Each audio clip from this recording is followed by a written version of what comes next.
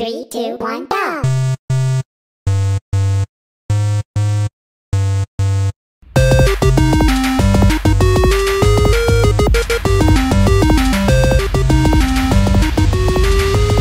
Hmm,